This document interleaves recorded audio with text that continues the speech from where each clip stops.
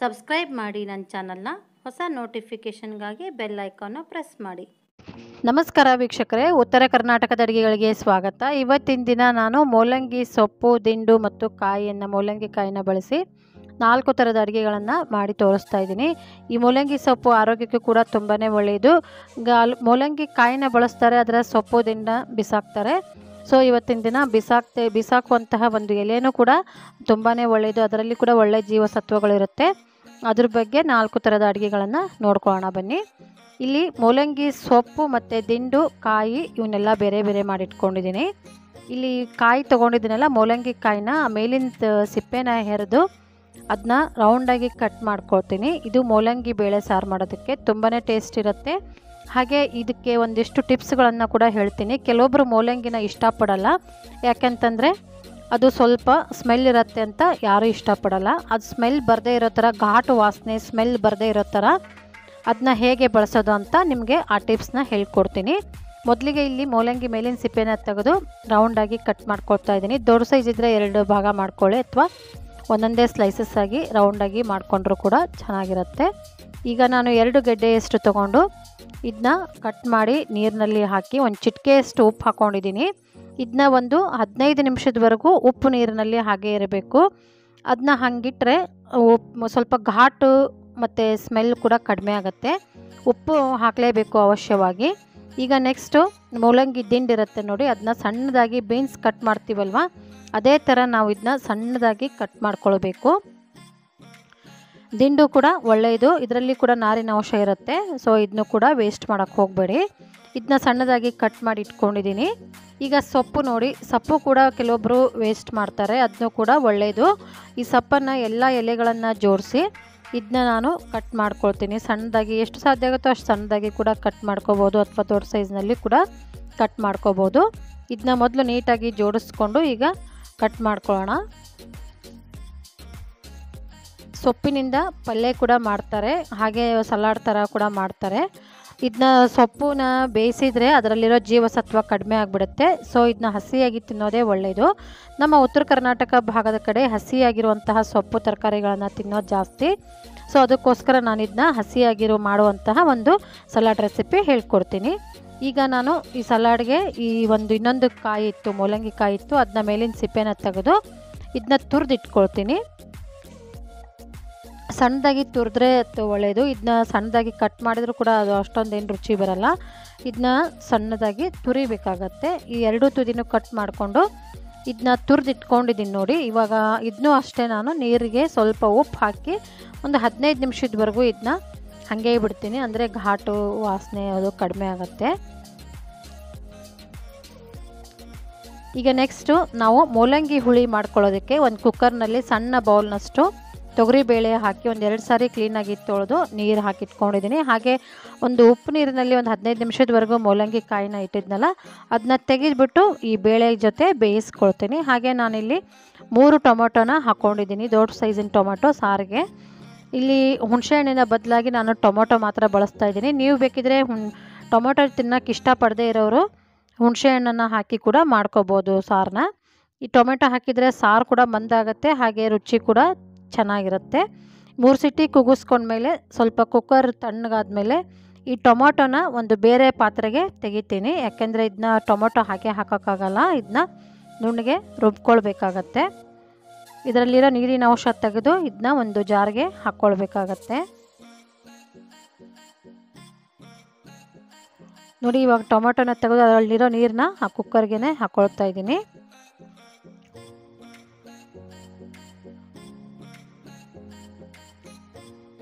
ಈಗ ಇದನ್ನ ಒಂದು ಜಾರಿಗೆ ಹಾಕಿ ಇದಕ್ಕೆ ಕೆಲವೊಂದಿಷ್ಟು ಪದಾರ್ಥಗಳನ್ನು ಹಾಕ್ಕೊಳ್ಬೇಕಾಗತ್ತೆ. ತುಂಬ ಸಿಂಪಲ್ಲಾಗಿ ಸರಳವಾಗಿ ಈ ಹುಳಿನ ಮಾಡ್ತಾ ಇದ್ದೀನಿ. ತುಂಬ ಟೇಸ್ಟಿಯಾಗಿರುತ್ತೆ. ಹೆಚ್ಚು ಮಸಾಲೆ ಕೂಡ ಬಳಸಿಲ್ಲ. ನಮ್ಮ ಉತ್ತರ ಕರ್ನಾಟಕ ಭಾಗದ ಕಡೆ ಹೆಚ್ಚು ಮಸಾಲೆ ಕೂಡ ಬಳಸಲ್ಲ. ಹಾಗೆ ಆ ಅಡುಗೆ ಕೂಡ ತುಂಬಾ ರುಚಿಯಾಗಿರುತ್ತೆ.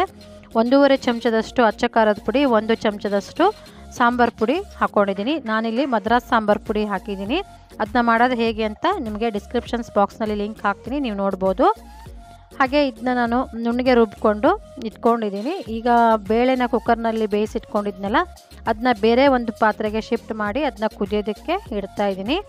ರುಬ್ಬಿರುವಂತಹ ಮಸಾಲೆ ಏನಿದೆಯಲ್ಲ ಅದನ್ನ ಈ ಬೇಳೆಗೆ ಹಾಕ್ಕೊಳ್ಳೋಣ ಈ ಮೂಲಂಗಿ ಬೇಳೆ ಸಾರು ಮಾಡಿದಾಗ ಇದಕ್ಕೆ ಬೇರೆ ತರಕಾರಿಗಳು ಅಷ್ಟೊಂದೇನು ಟೇಸ್ಟ್ ಕೊಡಲ್ಲ ಸೊ ನೀವು ಮೂಲಂಗಿ ಮಾತ್ರ ಹಾಕ್ಕೊಳ್ಬೇಕು. ರುಚಿಗೆ ಬೇಕಾಗುವಷ್ಟು ಉಪ್ಪು ನಾನು ಇಲ್ಲಿ ರುಬ್ಬೋವಾಗ್ಲೇ ಅಚ್ಚ ಖಾರದ ಪುಡಿ ಹಾಗೂ ಸಾಂಬಾರು ಪುಡಿ ಹಾಕಿರೋದ್ರಿಂದ ಎಕ್ಸ್ಟ್ರಾ ಜಾಸ್ತಿ ಏನು ಸಾಮಾನು ಪದಾರ್ಥಗಳನ್ನು ಹಾಕ್ತಾಯಿಲ್ಲ ಒಂದು ಚಿಟಿಕೆಯಷ್ಟು ಅರಶಿನ ಪುಡಿ. ಇವಿಷ್ಟನ್ನು ಹಾಕಿ ಇದನ್ನ ಚೆನ್ನಾಗಿ ಕುದಿಯೋದಕ್ಕೆ ಇಡ್ತಾ ಇದ್ದೀನಿ. ಇನ್ನೊಂದು ಕಡೆ ನಾನು ಇದಕ್ಕೊಂದು ಒಗ್ಗರಣೆ ಮಾಡ್ಕೊಂಬಿಡೋಣ. ಒಂದು ಎರಡು ಚಮಚದಷ್ಟು ಎಣ್ಣೆ ಹಾಕಿ, ಅದಕ್ಕೆ ಅರ್ಧ ಟೀ ಸ್ಪೂನಷ್ಟು ಸಾಸಿವೆ ಮತ್ತು ಜೀರಿಗೆನ ಹಾಕಿ ಸ್ವಲ್ಪ ಕರಿಬೇವು ಮತ್ತು ಈರುಳ್ಳಿನ ಸಣ್ಣದಾಗಿ ಕಟ್ ಮಾಡಿರೋದು ಕೂಡ ಹಾಕ್ಕೊಳ್ತೀನಿ ಈರುಳ್ಳಿ, ಮತ್ತು ಒಂದು ಗಡ್ಡೆಯಷ್ಟು ಬೆಳ್ಳುಳ್ಳಿ ಜಜ್ಜಿ ಇಟ್ಕೊಂಡಿದ್ದೀನಿ. ಬೆಳ್ಳುಳ್ಳಿನ ಜಜ್ಜಿ ಹಾಕಿದರೆ ಒಂದು ಒಳ್ಳೆ ಘಮ ಬರುತ್ತೆ ಸಾರಿಗೆ. ಕರಿಬೇವಿನ ಸೊಪ್ಪು, ಈರುಳ್ಳಿ, ಬೆಳ್ಳುಳ್ಳಿನ ಹಾಕಿ ಸ್ವಲ್ಪ ಫ್ರೈ ಮಾಡಿಬಿಟ್ಟು ಕೊನೆಯದಾಗಿ ಕೊತ್ತಂಬರಿ ಸೊಪ್ಪನ್ನು ಸಣ್ಣದಾಗಿ ಕಟ್ ಮಾಡಿ ಇಟ್ಕೊಂಡಿರೋದು ಹಾಕಿ, ಈ ಕುದೀತಾ ಇರೋವಂಥ ಸಾರಿಗೆ ಹಾಕಿದರೆ ಮೂಲಂಗಿ, ಬೇಳೆ ಸಾರು ರೆಡಿ ಆಯಿತು. ತುಂಬಾ ಟೇಸ್ಟ್ ಇರುತ್ತೆ. ರೊಟ್ಟಿ, ಚಪಾತಿ ಅನ್ನದ ಜೊತೆ ಅಂತೂ ತುಂಬಾ ರುಚಿಯಾಗಿರುತ್ತೆ. ಈ ನಾವು ಈ ಒಂದು ಟಿಪ್ಸ್ನ ಫಾಲೋ ಮಾಡೋದ್ರಿಂದ ಮೂಲಂಗಿ ಸ್ಮೆಲ್ ಕೂಡ ಬರಲ್ಲ. ಯಾರು ಅವಾಯ್ಡ್ ಮಾಡ್ತಾ ಇರ್ತಾರೆ ಅವ್ರಿಗೆ ಗೊತ್ತೇ ಆಗೋದಿಲ್ಲ, ಇದು ವಾಸನೆ ಇದೆ ಅಂತ ಕೂಡ ಗೊತ್ತಾಗಲ್ಲ. ಅಷ್ಟೊಂದು ರುಚಿಯಾಗಿರುತ್ತೆ. ಟ್ರೈ ಮಾಡಿ ನೋಡಿ. ಇವಾಗ ಸೆಕೆಂಡ್ ರೆಸಿಪಿನ ನೋಡ್ಕೊಳ್ಳೋಣ. ಸೆಕೆಂಡ್ ರೆಸಿಪಿ ಬಾಳೆ ಸಾರಿ ಮೂಲಂಗಿ ದಿಂಡಿದೆಯಲ್ಲ ಅದನ್ನ ಕಟ್ ಮಾಡಿ ಇಟ್ಕೊಂಡಿದ್ರದನ್ನ ಪಲ್ಯ ಮಾಡಿ ತೋರಿಸ್ತಾ ಇದ್ದೀನಿ. ಒಂದು ಪಾತ್ರೆ ಇಟ್ಕೊಂಡಿದ್ದೀನಿ. ಅದಕ್ಕೆ ಒಂದು ಎರಡು ಸಣ್ಣ ಟೀ ಸ್ಪೂನಷ್ಟು ಎಣ್ಣೆ ಹಾಕ್ಕೊಂಡಿದ್ದೀನಿ ಎಣ್ಣೆ ಚೆನ್ನಾಗಿ ಕಾದ ಮೇಲೆ ಒಂದು ಅರ್ಧ ಟೀ ಸ್ಪೂನಷ್ಟು ಸಾಸಿವೆ ಹಾಕ್ಕೊಳ್ಳೋಣ. ಸಾಸಿವೆ ಚಟಪಟ ಅಂತ ಸಿಡಿತಿದ್ದಂಗೆ ಸ್ವಲ್ಪ ಕರಿಬೇವಿನ ಸೊಪ್ಪು ಹಾಕ್ಕೊಳ್ತಾ ಇದ್ದೀನಿ. ಅನಂತರ ಒಂದು ಸಣ್ಣದಾಗಿ ಕಟ್ ಮಾಡಿ ಇಟ್ಕೊಂಡಿರೋ ಈರುಳ್ಳಿ ಒಂದು ಮೀಡಿಯಮ್ ಸೈಜಿಂದ ಆದರೆ ಸಾಕಾಗತ್ತೆ. ಆನಂತರ ಇಲ್ಲಿ ಒಂದು ಕಾಲು ಕಪ್ನಷ್ಟು ಅಂದರೆ ಅಂದಾಜು ನಾಲ್ಕು ಚಮಚದಷ್ಟು ಕಡಲೆಬೇಳೆನ ನಾನು ನೀರಿನಲ್ಲಿ ನೆನೆಸಿಟ್ಕೊಂಡಿದ್ದೆ. ಒಂದು ಎರಡು ಗಂಟೆಗಳ ಕಾಲ ನೆನೆಸಿಟ್ಕೊಂಡ್ರೆ ಸಾಕಾಗತ್ತೆ. ಇದು ಒಂದು ನಾಲ್ಕು ಟೀ ಸ್ಪೂನಷ್ಟು ಇದೆ. ಆ ಕಡಲೆಬೇಳೆ ನೆನೆಸಿಟ್ಕೊಂಡಿರೋ ಕಡಲೆಬೇಳೆನ ಹಾಕಿ ಚೆನ್ನಾಗಿ ಎಣ್ಣೆಯಲ್ಲೇ ಬಾಡಿಸ್ಕೊಳ್ತೀನಿ.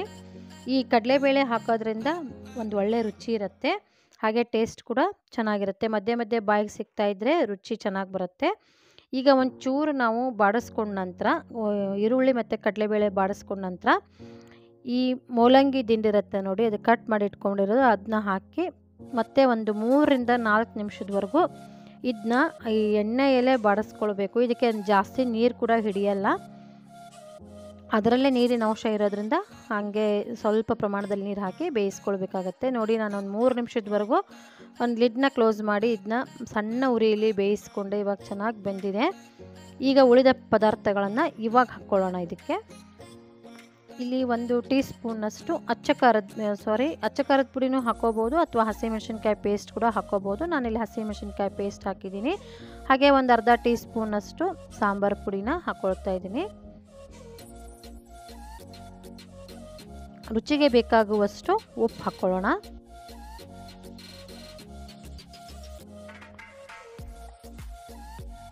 ಚೆನ್ನಾಗಿ ಬಾಡಿಸ್ಕೊಂಡು ಒಂಚೂರು ನೀರು ಹಾಕ್ಕೊಳ್ಬೇಕಾಗತ್ತೆ ಜಾಸ್ತಿನೂ ಕೂಡ ಏನೂ ಬೇಡ. ಒಂದು ಚಿಟಿಕೆಯಷ್ಟು ಅರಶಿನ ಪುಡಿ. ನೀವು ಸಾಂಬಾರು ಪುಡಿಯಲ್ಲಿ ಅರಶಿನ ಹಾಕಿರೋದ್ರಿಂದ ಹಾಕೋದು ಬಿಟ್ಟರು ನಡೆಯುತ್ತೆ. ಅಥವಾ ನೀವು ಅರಶಿನ ಪುಡಿ ಬಳಸಲ್ಲ ಅಂತಂದರೆ ಹಾಕ್ಕೊಳ್ಳಿ. ಒಂದು ಕಾಲು ಕಪ್ನಷ್ಟು ನೀರು ಹಾಕಿ ಮತ್ತೆ ಸಣ್ಣ ಉರಿಯಲ್ಲಿ ಒಂದು ಮೂರು ನಿಮಿಷದವರೆಗೂ ಬೇಯಿಸ್ಕೊಳ್ಳೋಣ. ಅಷ್ಟರಲ್ಲಿ ಇದಕ್ಕೊಂದು ಸಲಾಡ್ ರೆಡಿ ಮಾಡ್ಕೊಂಬಿಡೋಣ. ರೊಟ್ಟಿ, ಚಪಾತಿ ಜೊತೆ ಒಂದು ಒಳ್ಳೆ ರುಚಿ ಕೊಡುತ್ತೆ. ಮೂಲಂಗಿ ಸೊಪ್ಪನ್ನು ಹೆಚ್ಚಿಟ್ಟಿದ್ನಲ್ಲ ಅದನ್ನ ಒಂದು ಬೌಲ್ಗೆ ಹಾಕಿ ಒಂದು ಸೌತೆಕಾಯಿನ ತುರಿದಿಟ್ಕೊಂಡಿದ್ದೆ, ಒಂದು ಸಣ್ಣದಾಗಿ ಈರುಳ್ಳಿನ ಕಟ್ ಮಾಡಿ ಇಟ್ಕೊಂಡಿದ್ದೆ ಹಾಗೆ ಒಂದು ಚೂರು ಕೊತ್ತಂಬರಿ ಸೊಪ್ಪು, ಒಂದು ನಾಲ್ಕು ಚಮಚದಷ್ಟು ಹಸಿ ಕಾಯಿ ತುರಿ ಹಾಕಿದರೆ ಒಂದು ಒಳ್ಳೆ ರುಚಿ ಕೊಡುತ್ತೆ. ಇವನ್ನೆಲ್ಲನೂ ಹಾಕಿ ಇದನ್ನ ಚೆನ್ನಾಗಿ ಮಿಕ್ಸ್ ಮಾಡ್ಕೊಳ್ಬೇಕು. ಕೈಯಿಂದ ಮಿಕ್ಸ್ ಮಾಡ್ಕೊಂಬಿಟ್ರೆ ಇದು ಬೇಗ ನೀರು ನೀರು ಆಗಿಬಿಡುತ್ತೆ. ನೀರು ನೀರು ಆಗಿಬಿಡುತ್ತೆ. ಸೊ ಇದು ಹಸಿಯಾಗಿರೋದ್ರಿಂದ ಬೇಗ ಕೆಟ್ಟೋಗೋ ಚಾನ್ಸಸ್ ಇರುತ್ತೆ. ಸೊ ನಾವು ಇದನ್ನ ಚಮಚದ ಸಹಾಯದಿಂದ ಇದನ್ನ ಮಿಕ್ಸ್ ಮಾಡ್ಕೊಳ್ತಾ ಇದ್ದೀನಿ. ಇದನ್ನ ಕೈಯಿಂದ ಮಿಕ್ಸ್ ಮಾಡ್ಕೊಳ್ಳೇಬಾರ್ದು. ಅವಶ್ಯವಾಗಿ ಇದನ್ನ ನೆನ್ಪಿಟ್ಕೊಳ್ಳಿ. ರೊಟ್ಟಿ ಜೊತೆ ಅಂತೂ ಒಳ್ಳೆ ರುಚಿ ಕೊಡುತ್ತೆ. ಇದನ್ನ ಹಾಗೆ ಕೂಡ ಸಲಾಡ್ ಥರ ತಿನ್ಬೋದು. ಇನ್ನೂ ರುಚಿ ಕೊಡುತ್ತೆ. ಬೇಕಿದ್ರೆ ಇದಕ್ಕೆ ಮೊಳಕೆ ಕಾಳನ್ನು ಕೂಡ ಬೆರೆಸ್ಕೋಬೋದು. ಹಾಗೆ ತಿನ್ನೋದಾದರೆ ಮಡಿಕೆ ಕಾಳು ಅಥವಾ ಹೆಸರು ಕಾಳನ್ನು, ಮೊಳಕೆ ಕಟ್ಟಿದ ಕಾಳನ್ನು ಇದಕ್ಕೆ ಮಿಕ್ಸ್ ಮಾಡ್ಕೊಂಡು ತಿಂದರೆ ಇನ್ನೂ ರುಚಿ ಕೊಡುತ್ತೆ. ಸಲಾಡ್ ಥರ ಉಪಯೋಗಿಸೋರು. ಈಗ ಇಷ್ಟಾದಮೇಲೆ ಇದಕ್ಕೊಂದು ಜೀರಿಗೆ ಮತ್ತು ಸಾಸಿವೆ ಒಗ್ಗರಣೆ ಹಾಕಿದ್ದೆ. ಅದು ತಣ್ಣಗಾದ್ಮೇಲೆ ಈ ಒಗ್ಗರಣೆನ ಇದಕ್ಕೆ ಹಾಕೊಳ್ಳೋಣ. ಈ ಒಗ್ಗರಣೆನ ಹಾಕೊಳ್ಳೋದ್ರಿಂದ ಇದಕ್ಕೊಂದು ರುಚಿ ಕೂಡ ಹೆಚ್ಚಿಗೆ ಆಗುತ್ತೆ. ನೀವು ಒಗ್ಗರಣೆ ಸ್ಕಿಪ್ ಕೂಡ ಮಾಡ್ಕೋಬೋದು, ಹಾಕಲೇಬೇಕಂತೇನಲ್ಲ. ಉಪ್ಪನ್ನು ನಾನು ಹಾಕಿಲ್ಲ, ಉಪ್ಪು ನಾವು ಊಟ ಮಾಡುವಾಗ ಇದಕ್ಕೆ ಉಪ್ಪು ಹಾಕ್ತೀವಿ. ಯಾಕಂತಂದರೆ ಮೊದಲೇ ಹಾಕ್ಬಿಟ್ರೆ ನೀರು ಒಡೆದು ಬಿಡುತ್ತೆ ಇವಾಗ ನೋಡಿ ಪದಲೆ ಕೂಡ ರೆಡಿಯಾಗಿದೆ ಮೂಲಂಗಿ ದಿಂಡಿನ ಪಲ್ಯ ಕೂಡ ರೆಡಿಯಾಗಿದೆ ಕೊನೆಯದಾಗಿ ಕಾಯಿ ತುರಿ ಒಂದು ಸ್ವಲ್ಪ ಕೊತ್ತಂಬರಿ ಸೊಪ್ಪನ್ನು ಹಾಕಿ ಕೆಳಗಿಳಿಸಿದ್ರೆ ರೆಡಿ ಆಯಿತು. ಪಲ್ಯ ಕೂಡ ರೆಡಿ ಆಯಿತು. ಸ್ಟೋವ್ ಆಫ್ ಮಾಡ್ಕೊಂಡಿದ್ದೀನಿ ಇವಾಗ. ಇದು ಕೂಡ ರೊಟ್ಟಿ ಜೊತೆ ತುಂಬಾ ಟೇಸ್ಟ್ ಇರುತ್ತೆ. ಚಪಾತಿ ಜೊತೆ ಒಂದು ಒಳ್ಳೆ ಕಾಂಬಿನೇಷನ್ ಅಂತಲೇ ಹೇಳ್ಬೋದು. ಈಗ ನೆಕ್ಸ್ಟು ನೋಡ್ಕೊಳ್ಳೋಣ. ಮೊದಲಿಗೆ ನಾನಿಲ್ಲಿ ರಾಯ್ತ ಮಾಡೋದಕ್ಕೆ ಒಗ್ಗರಣೆ ಮಾಡ್ಕೊಳ್ತಾ ಇದ್ದೀನಿ. ಒಂದೆರಡು ಒಂದು ಚಮಚ ಎಣ್ಣೆಗೆ ಜೀರಿಗೆ, ಸಾಸಿವೆ ಒಂದೆರಡು ತುಂಡು ಹಸಿಮೆಣಸಿನ್ಕಾಯಿನ ಹಾಕಿ, ಸ್ವಲ್ಪ ಕರಿಬೇವಿನ ಸೊಪ್ಪು ಹಾಕಿ ಫ್ರೈ ಮಾಡಿಕೊಂಡು, ಕೊನೆಯದಾಗಿ ಅವಶ್ಯವಾಗಿ ಇದಕ್ಕೊಂದು ಚಿಟಿಕೆ ಹಿಂಗೆ ಹಾಕಲೇಬೇಕು. ರಾಯ್ತ ಮಾಡಿದರೆ ನಾವು ಅಂದರೆ ಮೂಲಂಗಿ ರಾಯ್ತ ಮಾಡಿದರೆ ಹಿಂಗೆ ಹಾಕೋದ್ರಿಂದ ಒಂದು ಒಳ್ಳೆ ಪರಿಮಳ ಬರುತ್ತೆ. ಇಲ್ಲಿ ಒಂದು ಬೌಲ್ಗೆ ತುರಿದಿಟ್ಕೊಂಡಿರೋ ಮೂಲಂಗಿ ತುರಿ, ಈರುಳ್ಳಿ ಮತ್ತು ಕೊತ್ತಂಬರಿ ಸೊಪ್ಪು, ಕಾಯಿ ತುರಿ ಹಾಕಿದ್ದೀನಿ. ಕಾಯಿ ತುರ ಕೂಡ ಒಂದು ಎಕ್ಸ್ಟ್ರಾ ರುಚಿ ಕೊಡುತ್ತೆ. ಅದನ್ನೂ ಹಾಕಿದರೆ ಇನ್ನೂ ಒಳ್ಳೆಯದು ಇಷ್ಟಾದಮೇಲೆ ಒಂದು ಸ್ವಲ್ಪ ಸಕ್ಕರೆ ಹಾಕ್ಕೊಳ್ಳೋಣ. ಒಂದು ಚಿಟಿಕೆಯಷ್ಟು ಉಪ್ಪು ಹಾಕ್ಕೊಳ್ತಾ ಇದ್ದೀನಿ.